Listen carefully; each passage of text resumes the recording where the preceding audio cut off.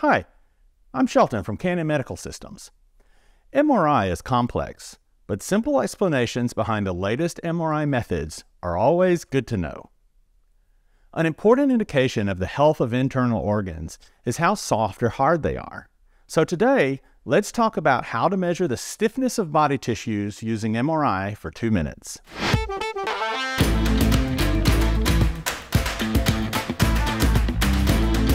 Elastography is the art of making an image where the elasticity, or essentially stiffness, values are mapped to locations within that image. There are many ways to measure tissue stiffness, but a fast, reliable, and non-invasive method is to use magnetic resonance imaging for so-called MR elastography, or MRE for short. One of the most common applications of this is in liver imaging, because we know that liver diseases such as fatty liver disease, cirrhosis, and cancer all affect the tissue stiffness. And indeed, this metric has been shown to be an excellent prognostic indicator for disease progression and long-term outcomes.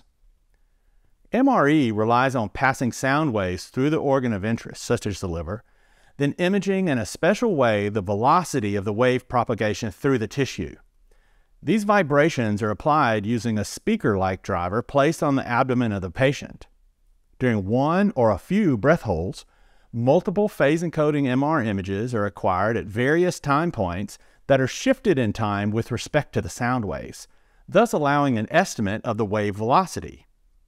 Because sound travels at different speed through tissues based on the tissue stiffness, we can calculate from the velocity encoded images, using special algorithms, the local stiffness or elasticity, which is represented in the units of kilopascals and mapped onto a colorized image of the anatomy.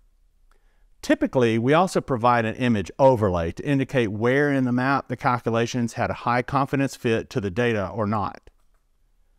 The most typical acquisition techniques for MRE are gradient echo based, which provides one imaging slice per breath hold, or spin echo EPI, which provides four slices per breath hold. As compared to other techniques like ultrasound or biopsy, which may focus on one small area, MRE provides measures of stiffness over a larger part of the organ, and this can be very helpful, for example, in diffuse or heterogeneous disease processes. If you want more information about how MRE is implemented or how it's applied in measuring tissue stiffness, click on the link and download the attached Good to Know document. You'll find additional information, answers to some questions from the field, user tricks, and best practices.